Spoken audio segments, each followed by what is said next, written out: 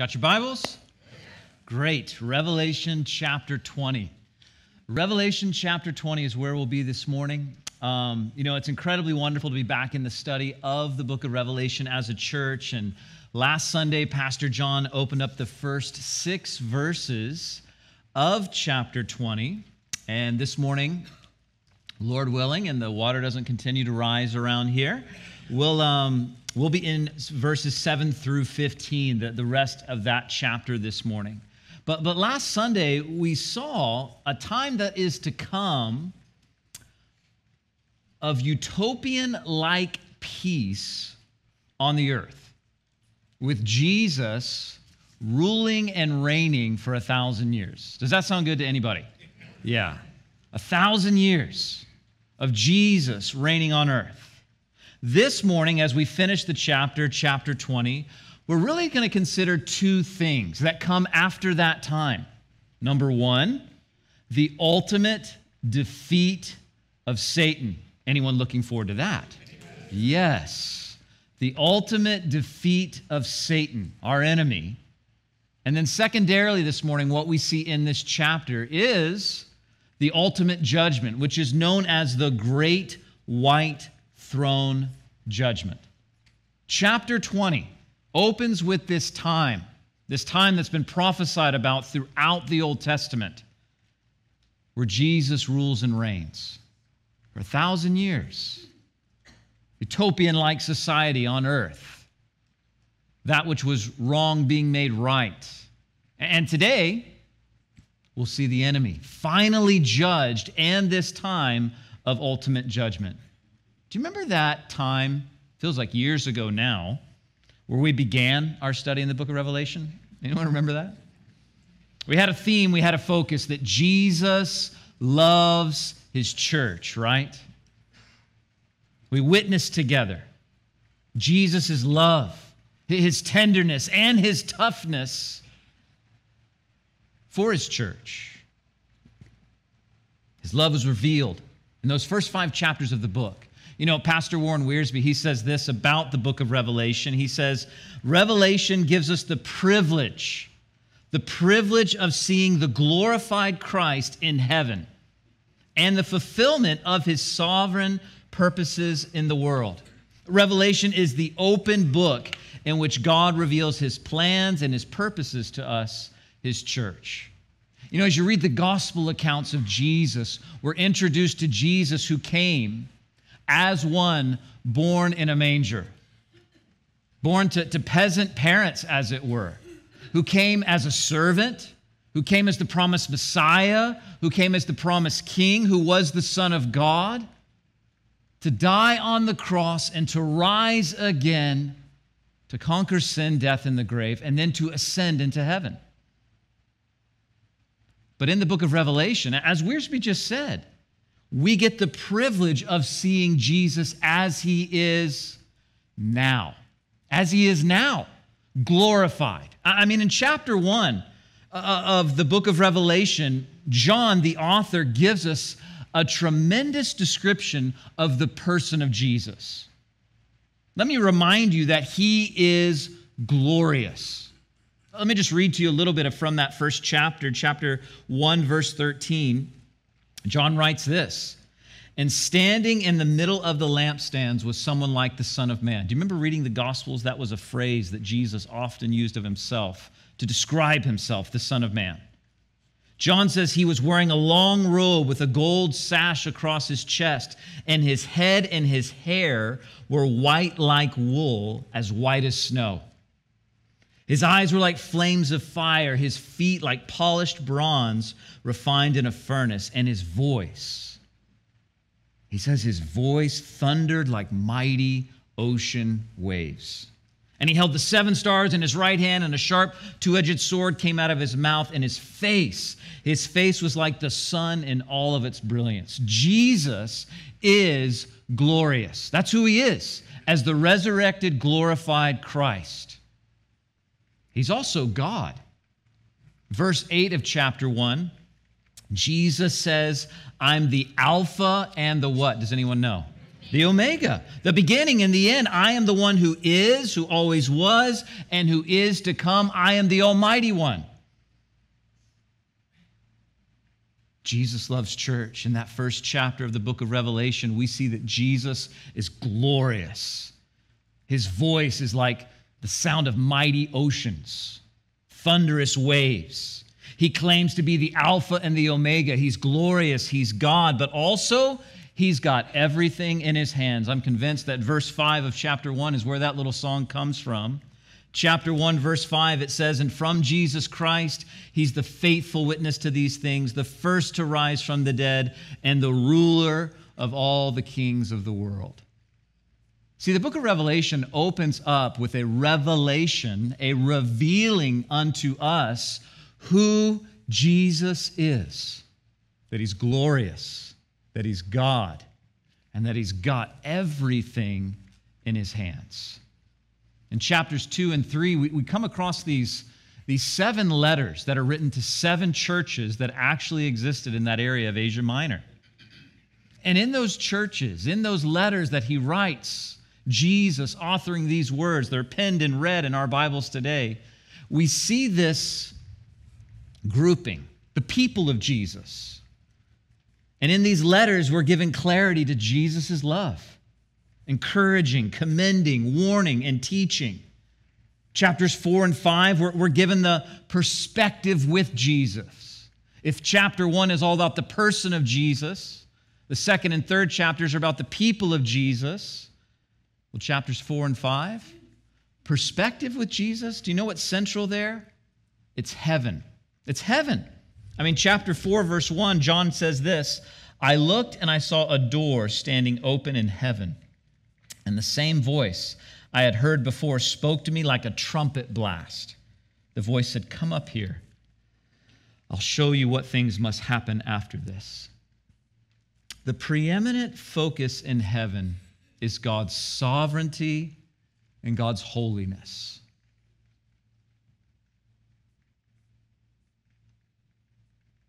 Verse 11 of chapter 4, it says, You are worthy, O Lord our God, to receive glory and honor and power.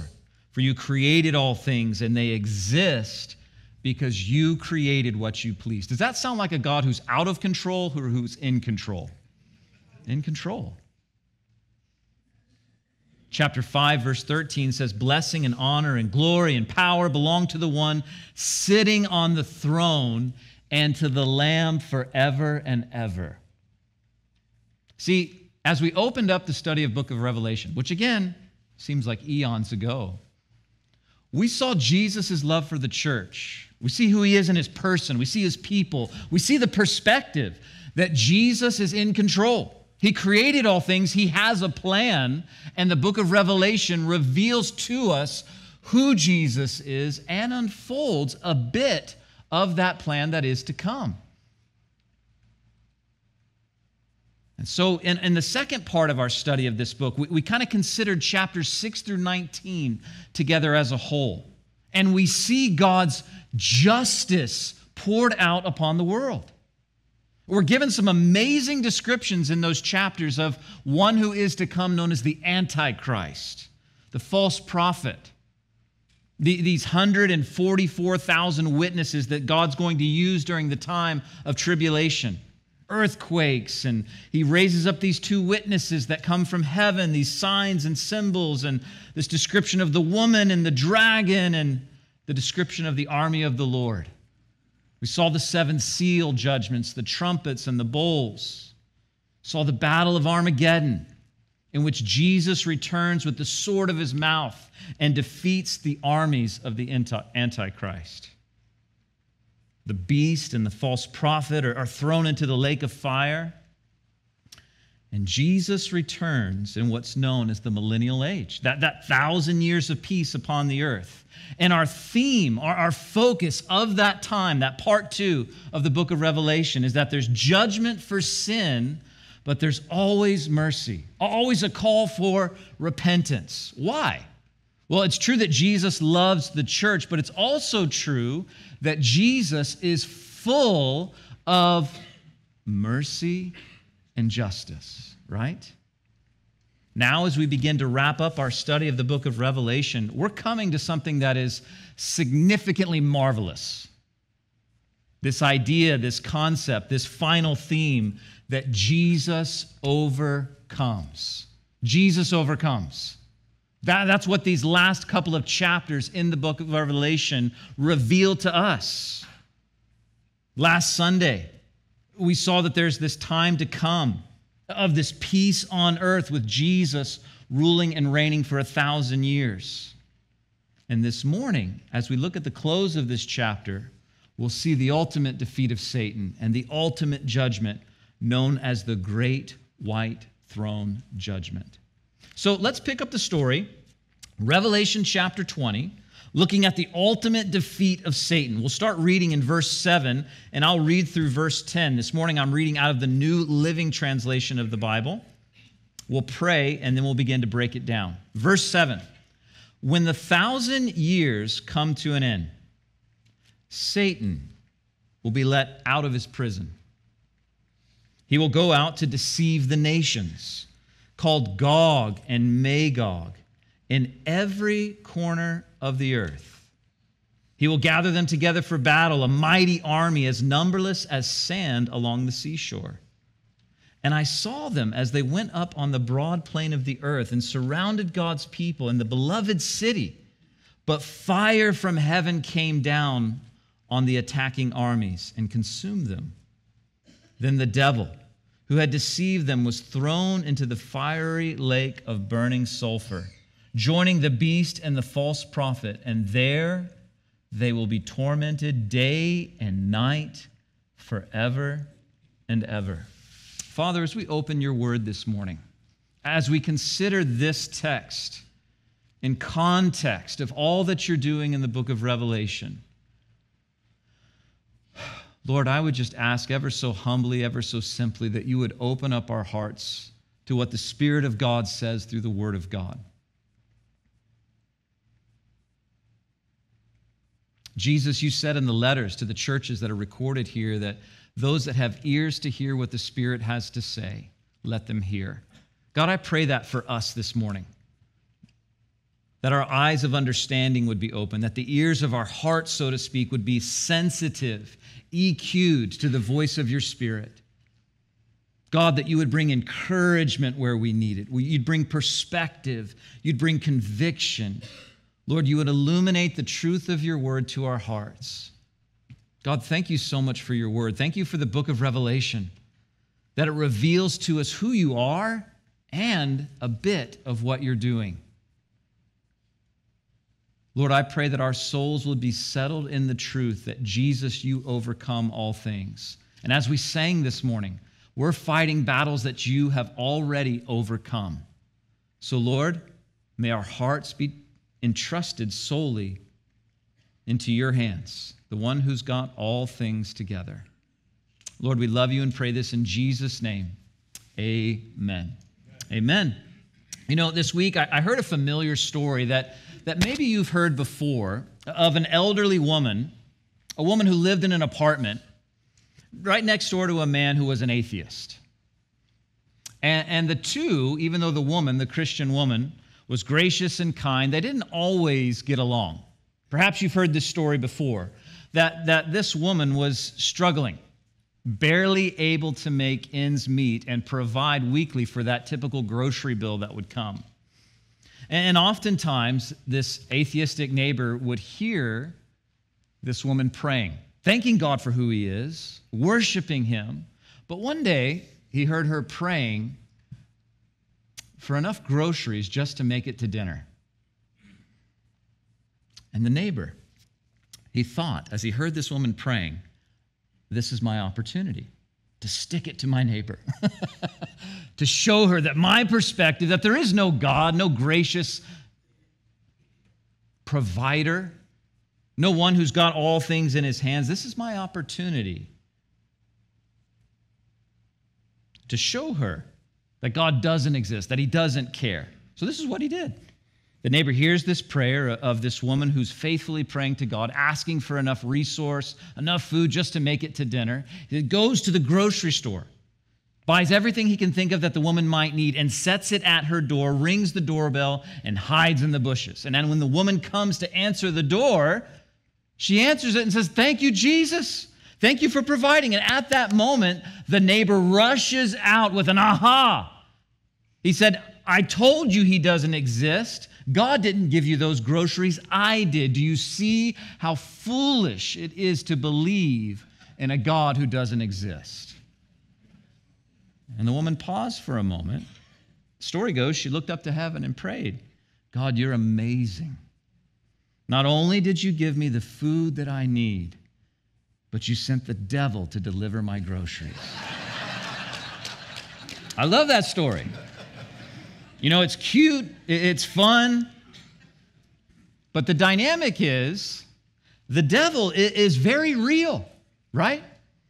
And here in Revelation chapter 20, we read about him being loosed after this thousand year reign of Jesus. A thousand years without the enemy, without the devil deceiving and causing havoc upon the world. The devil is a formidable foe for God's people, has been since Genesis chapter 3. Think back to that. We're in the book of Revelation.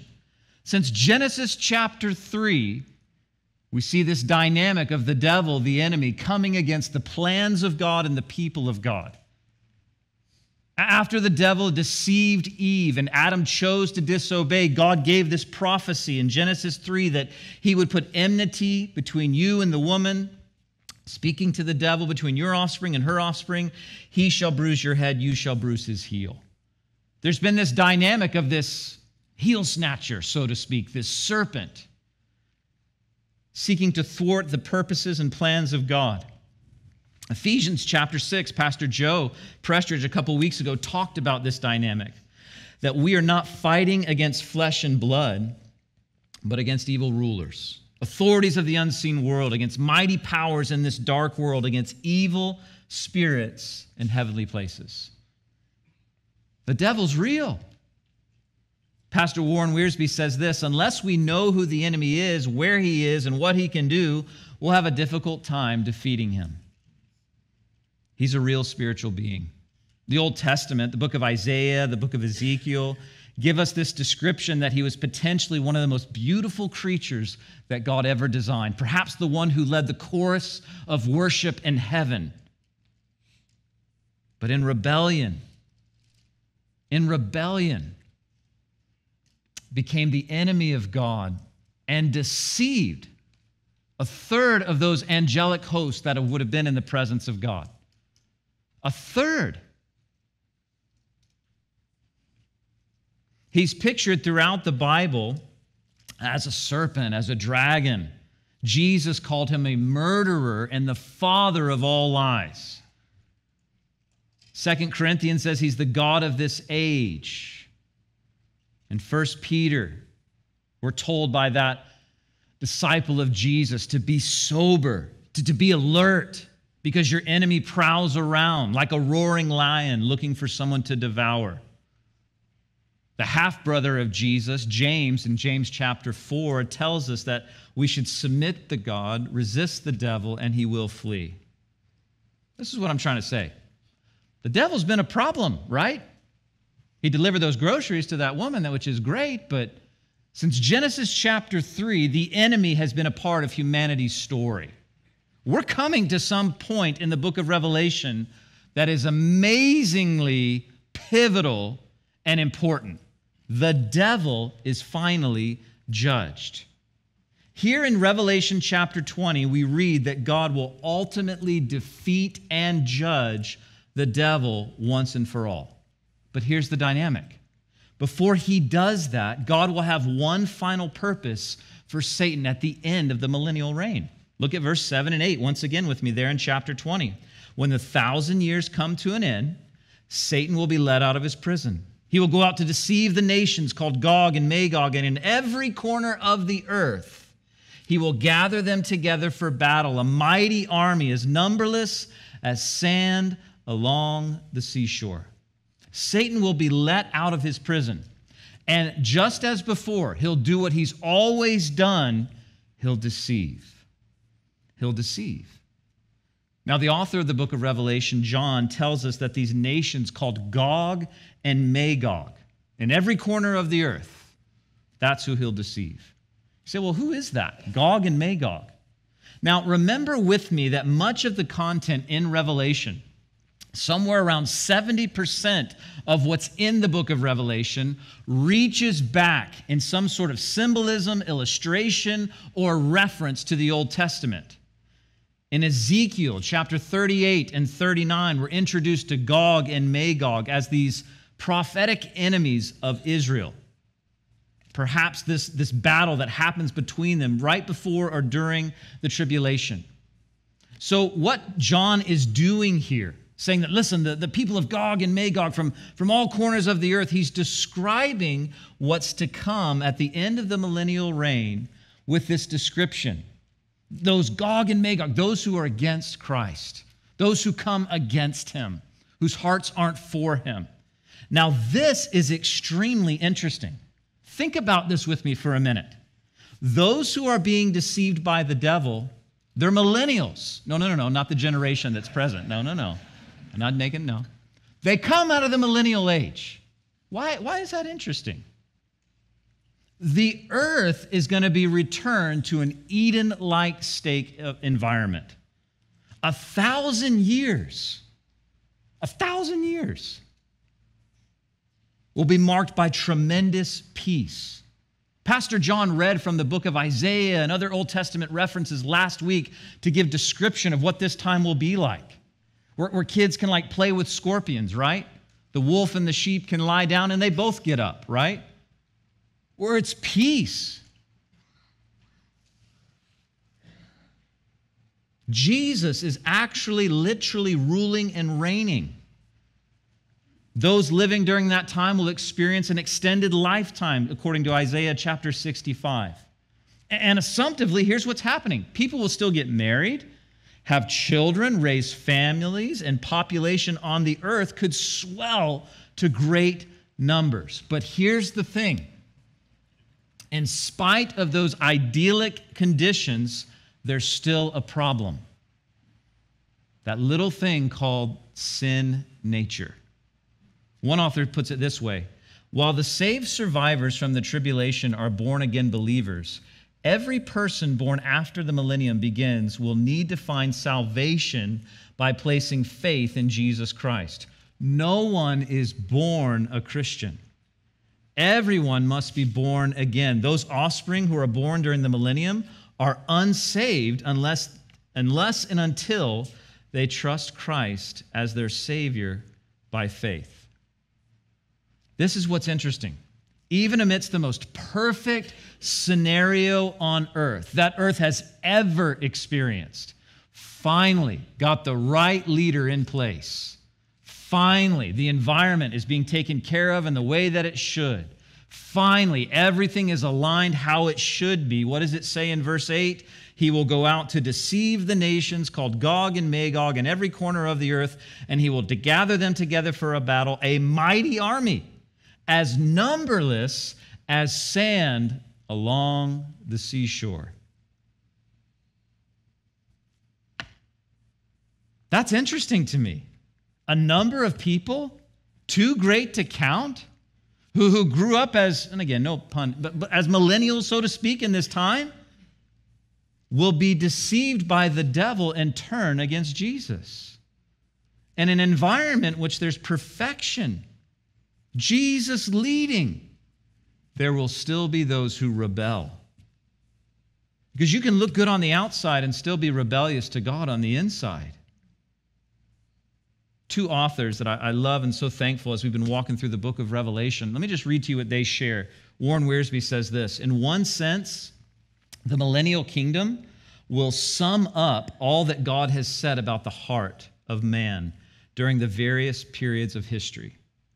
It will be a reign of law, and yet law will not change a man's sinful heart. Man will still revolt against God. The millennium will be a period of peace, perfect environment a time when disobedience will be judged swiftly with justice, and yet in the end, the subjects of the king will follow Satan and rebel against the Lord.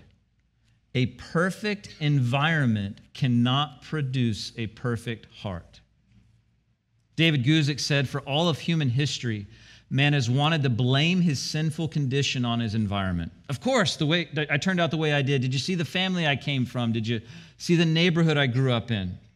With the millennial kingdom of Jesus, God will give mankind a thousand years of perfect environment with no Satan, no crime, no violence, no evil, or no social pathology. But at the end of a thousand years, man will still rebel against God at his first opportunity. This will powerfully demonstrate that the problem is in us, not only in our environment. My greatest need, your greatest need, our greatest need is a Savior. A Savior someone who can save us from the power of sin, who can satisfy the required penalty for sin, and a Savior, as we're reading about this morning, who one day will deal with ultimately the presence of sin amongst us.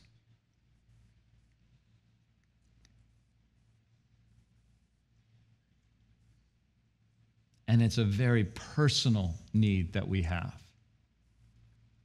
You can grow up with the greatest environment, the greatest opportunities, the greatest role models and examples, and still the need for each and every single one of us is to recognize personally that we need Jesus as our Savior. This is amazing to me that, that those that grow up in this time, given every opportunity, still sin within the heart is that which needs to be dealt with.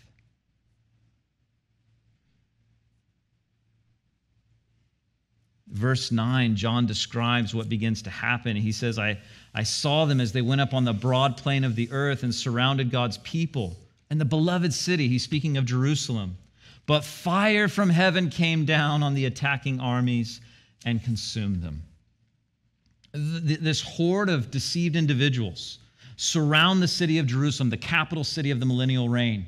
And just like we saw with the Battle of Armageddon, there's really no battle at all. God deals swiftly with that final rebellion. Fire falls from heaven to devour and destroy all those who come against Jesus. And we come to one of the greatest moments spoken of in the Bible, verse 10. Then the devil, who had deceived them, was thrown into the fiery lake of burning sulfur. I don't know that I've ever smelt burning sulfur, but I've smelt sulfur. No, thank you.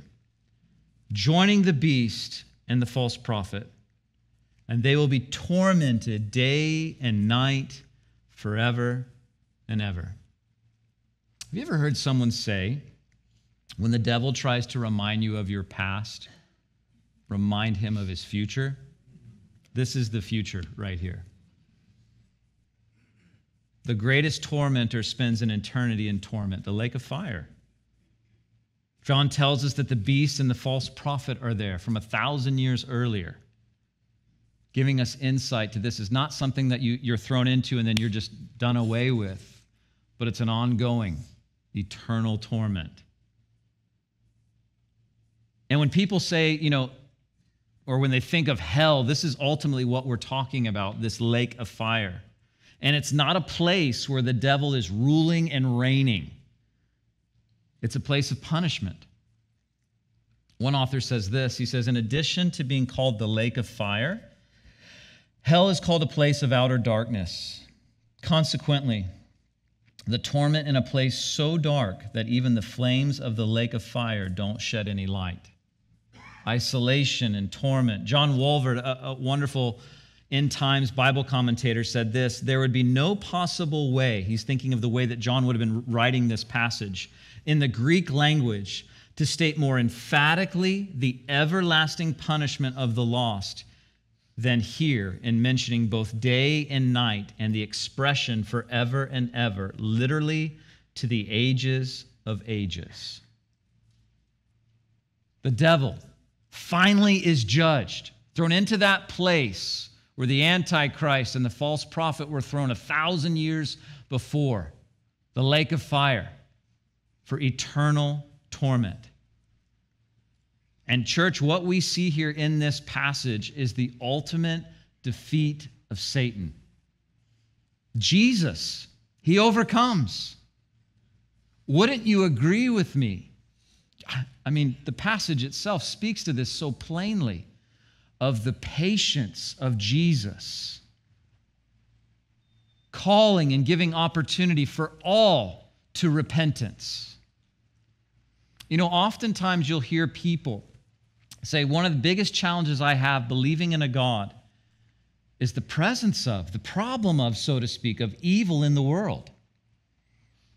And maybe you've heard of like Lex Luthor's theology, right? If God was all good, then he would get rid of evil. If God was all powerful, then he'd be capable of getting rid of all evil. But evil exists, so God is therefore not all loving nor all powerful. That's like the NIV of Lex Luthor's theology. If you don't know who Lex Luthor is, don't, don't worry about it. But there's this mindset, right? Well, if God is so good, why is there thus and so in the world today? Listen, God will one day rid the world of evil. It's in the book. He has the power to do it. Why is He waiting? He's giving opportunity for you and for me to respond, to repent, to be with Him forevermore. Of course, God is all loving. There is one moment in history that you can always look back to. We have it in tiled glass, so to speak, here on this stage that demonstrates you once and for all that God loves. It's the cross of Jesus Christ. We sang a song about it this morning. For God so loved the world that he gave. You never have to doubt the love of God. God gave his most precious gift so that you could be in relationship with him. And he wants to extend that gift to every single person. And it's not about developing some kind of utopian society or getting the right leadership in place that'll make every wrong right. It's having a heart forgiven and surrendered to him that makes everything right. Jesus overcomes. The devil here we see is defeated and judged. Now, let's look at these last few verses of this chapter as we consider the final judgment that is to come. Verse 11. If you're still with me there, let me know by saying, Jesus overcomes. Okay, verse 11. I saw a great white throne and the one sitting on it. The earth and the sky fled from his presence, but they found no place to hide. I saw the dead, both small and great, standing before God's throne, and the books were opened, including the book of life. And the dead were judged according to what they had done, as recorded in the books. And the sea gave up its dead, and death and the grave gave up their dead, and all were judged according to their deeds. Then death and the grave were thrown into the lake of fire. The, this lake of fire is the second death. And anyone whose name was not found recorded in the book of life was thrown into the lake of fire. After the enemy is judged and given over to his final place of torment, the lake of fire, the second death, John records for us what he saw. He says, I saw a great white throne. A throne, a place of authority and power. Great, meaning in priority and importance, and white, speaking of purity, right judgment, righteous judgment, perfectly just and accurate. And the scene that he describes here is serious. I mean, it says there in verse 11 the earth and the sky fled from his presence, but they found no place to hide. What does that mean? Honestly, I don't know. I don't know what all that means. But it seems that all of earth and heaven will be moved to make room for a new heaven and earth. That's true. But also, the connotation of this language is that there's no hiding from this throne. The, the great white throne judgment time has come. And it's like the earth and the sky are seeking to, to flee from the presence, and they can't. No one can escape the judgment that's coming. That's what John is writing. And John records for us what he saw. He said, I saw the one sitting on the throne. You say, well, who is that? Jesus spoke about this in the Gospel of John. Let me read this to you. We'll have it up on the screen. But John chapter 5, listen to what Jesus says. In addition, the Father judges no one. Instead, he has given the Son absolute authority to judge so that everyone will honor the Son just as they honor the Father. And anyone who does not honor the Son is certainly not honoring the Father who sent him. I tell you the truth. Those who listen to my message and believe in God who sent me have eternal life. Let me say that again. I, I hope you hear that. I tell you the truth. Those who listen to my message and believe in God who sent me have eternal life. They will never be condemned for their sins, but they have already passed from death to life. He goes on to say this, and I assure you that the time is coming, indeed is now, when the dead will hear my voice and the voice of the Son of God, and those who listen to me. The Father has life in himself, and he has granted that same life giving power to his Son, and he has given him authority to judge everyone because he's the Son of Man. Don't be surprised. Indeed, the time is coming when all the dead in their graves will hear the voice of God's Son. They will rise again. Those who have done good will rise to experience eternal life. Well, what's good? It's back to verse 24 believing in the message of Jesus. And those who have continued in evil will rise to experience judgment. What we see here in Revelation chapter 20 is what Jesus spoke about there in John chapter 5. Everyone who is not raised in what we saw in, in, verses 5 and 6 of chapter 20 in the first resurrection, those believers will be raised in this resurrection we're reading about in this portion of John chapter 20 to judgment. Can I, can I say this with as much clarity as I possibly know how? Everyone, there's no escaping it. That's why John says in verse 12 and 13, I saw the dead, both small and great, great and small, standing before God's throne. He says, The sea gave up its dead, death and the grave gave up their dead, and all were judged according to their deeds. He's saying this from the famous to, to the nameless, from rich to poor, no one is escaping this judgment. Those who reject Jesus here are rising to experience their just judgment. Now, time doesn't allow for me to unpack all of this, but you may be questioning what do you mean by just judgment? Listen to what the word of God says. Let me just read a few passages to you. Romans 5:12.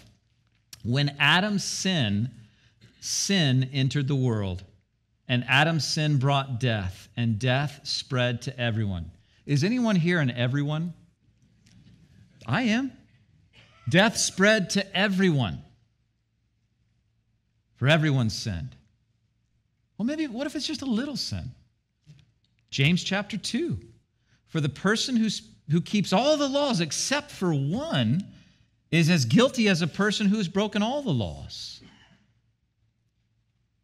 And God is love. Is anyone thankful for that? Yes, He's gracious and He's kind. And God is holy and righteous, pure. Don't you want him to be pure in his love? 115%? Well, if he's to be God, he must be 115% in his righteousness, his standard of holiness. And this next passage in the book of Romans puts it so beautifully. Chapter 3, verse 22. We are made right with God by going to church. Oh, no. We are made right with God. What does it say there, church? by placing our faith, what does it say? That's how we're made right. And this is true for who? Everyone who believes, no matter who we are. And then for verse 23, for everyone is sinned. We all fall short of God's glorious standard, yet God, in His grace, freely makes us right in His sight. And He did this how? This is so clear through Christ Jesus when he freed us from the penalty of our sins. See, chapter 20, this great white throne judgment, this is just judgment for everyone. I should be there at the great white throne judgment. I deserve it. to stand before a holy God and give account for my sins. Everyone should. But do you remember what we just read? We're made right with God, though, by placing our faith in Christ Jesus. This is true for everyone. So there's a, a get out of jail card monopoly. There's a, a, there, there's a free pass here. Who's it for? For everyone who places their faith in Jesus. Because Jesus paid for the penalty for our sins. And John continues to write here in chapter 20 that the books are opened. Several books open, books of works and deeds containing the, the thoughts, words, and actions of every person. And these books aren't being opened to kind of, well, judge whether or not that this person is ultimately guilty, but actually just to evidence the truth that they are. One individual wrote this The issue is not salvation by works, but works are the irrefutable evidence of a man's actual relationship with God. So these books are opened. And then there's this other book known as the Book of Life. The Book of Life contains the names of those who belong to Jesus. Aren't you thankful that if you belong to Jesus, it's like etched in a book? There it is. Better than any kind of memory maker book you'll get from a special event. Your name is in the book of life. Testimony is there, written and recorded. Warren Wiersbe says of this, he says, the, the white throne judgment will be nothing like our modern court cases.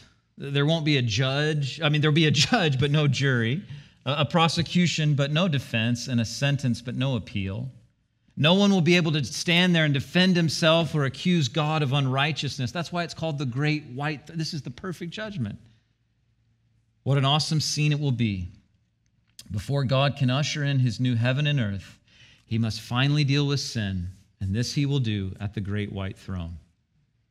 And John closes with these words in verses 14 and 15 And death and the grave were thrown into the lake of fire.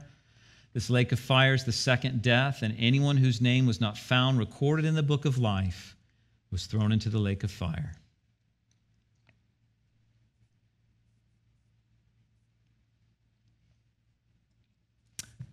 You know, my, I have uh, six children living in our home. And uh, last week, two of my girls share a room. And the room that they are in, when we first moved in, uh, they wanted it painted dark purple. And it was awesome for about two seconds. We lived there for about three years now. So after about two seconds, they, they wanted it painted a different color. So, well, you know, you chose it, you got to live in it for a moment. We're not changing it right away. But just recently, we, we had the room repainted and the girls love it. But when you step in that room, you can still kind of smell a little bit of that hint of paint. Where you've had the windows open, you have had the fans blowing, but you still kind of, it'll take time for it to go away. What God is doing here in His grace and His mercy is removing every single scent of sin. Anything that sin ever touched is going to be done away with. Death and the grave are thrown into the lake of the fire. The very last evidences of sin's effect upon the world are finally done away with.